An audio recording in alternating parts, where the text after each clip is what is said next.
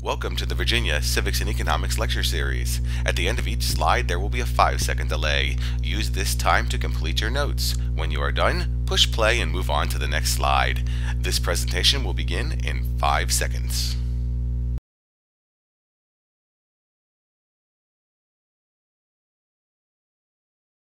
Welcome to Virginia Civics and Economics Lecture 1.3 on demonstrating consent, and let's talk about the American melting pot.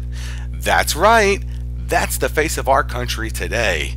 In fact, if you look at this pie chart of U.S. population by race and ethnicity in 2012, you will see that even back then, we were a diverse nation. And as we move forward in our history, we will grow more diverse. But here's the thing nobody living today originally consented to the government we live under. Instead, consent to govern here was originally granted by these guys. And these guys do not look like the pie chart from 2012.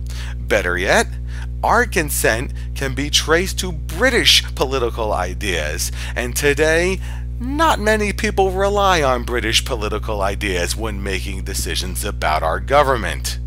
So we have to ask ourselves, how did our country originally show its consent to be governed? And more importantly, do we still consent to be governed in the same way today?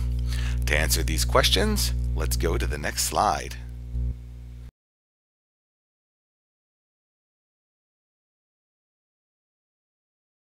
The foundation of American civics can be traced back to our English origins. So we need to look back, and I mean like way back into English history to understand how American government works today. This is John. He was King of England in 1215 and he made a mistake. He tried to take the power from the people. Well, they revolted and we had a civil war. To end this war, John had to sign a document called the Magna Carta, which set forth that the power of the sovereign, in this case the king, could be restrained or held back in order to protect the rights of free men. In other words, John agreed that once power is given to the people, it cannot be taken back. That is a cornerstone of American democratic life. Okay, well, let's get to America. Here's Pocahontas. Oh, that movie is wrong in so many ways, but more importantly, it missed out on the cool stuff, like the charters of the Virginia Company of London, which guaranteed the rights of Englishmen to colonists. What does that mean? It means the King of England signed a document that said once you go to America, you are still an Englishman and you have all the rights of an Englishman. But it went farther. The first charter signed in 1606 provided for the sale of shares and profits to colonists colonists. So not only will you be an Englishman over there, but you're a shareholder in the company. You own part of the company. And If you make any profits, we'll give them to you. And then we signed a second charter, which allowed the company to choose a governor from its shareholders. No longer would the King of England assign a governor to run the Jamestown colony, but the people living there would pick their own man, and that is the very beginning of representative democracy in North America. Unfortunately, Jamestown didn't do so great, but the failure of the company led to a decree in 1624 making Virginia a royal colony governed by the crown. And here's how it worked the governor of Virginia was somebody appointed by the king, but the people in Virginia they had representative democracy. They met in something called the House of Burgesses and they ruled themselves. And the cool thing is that original House of Burgesses is today's Virginia General Assembly. Go to the next slide.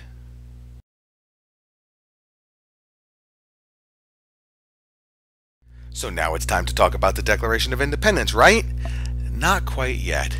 You see, Virginia still has an important role to play in influencing modern American government. The Virginia Declaration of Rights, signed in 1776, served as a model for the Bill of Rights of the United States. Constitution.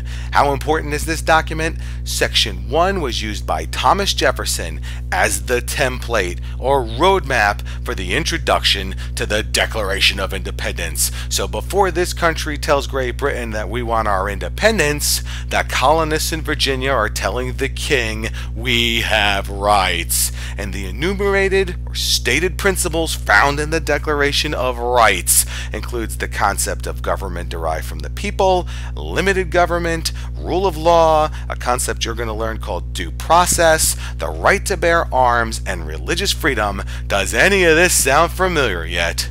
Virginia is highly influential in the way we created our modern American government. Go to the next slide.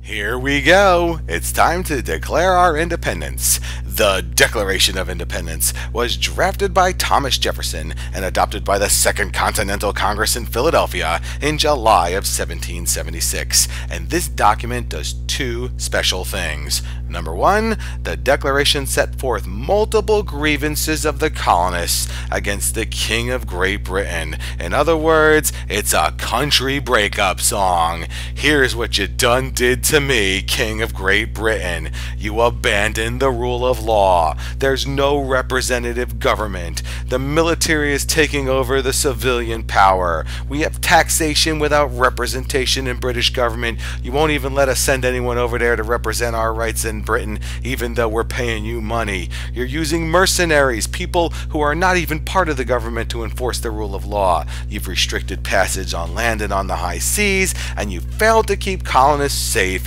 from domestic insurrection. Colonists are going after colonists. Here's how you broke our hearts, Great Britain.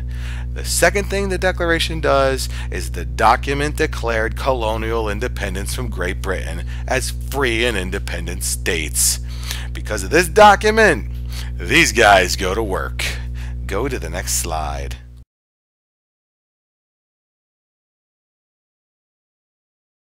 The Declaration of Independence does one more important thing, and it has nothing to do with declaring independence. Instead, it is when we first say what type of government we consent to be ruled by. The Declaration of Independence affirmed certain unalienable rights, including the right to life, liberty, and the pursuit of happiness. We call that the American dream, and we specifically say we do not consent to these rights being taken away from us. But the Declaration also set forth that government is designed to affect safety and happiness amongst the governed. In other words, we consent to being ruled by a government that works for us and not against us. And you will see this consent show itself throughout American history. I mean, this guy talks about it. We here highly resolve that government of the people, by the people, for the people shall not perish from the earth. Finally, the coolest thing about the Declaration the Declaration has no legal authority in the way that we govern the United States today. So we celebrate July 4th, but our most important days are yet to come. Thank you for watching this lecture, and I look forward to seeing you in class.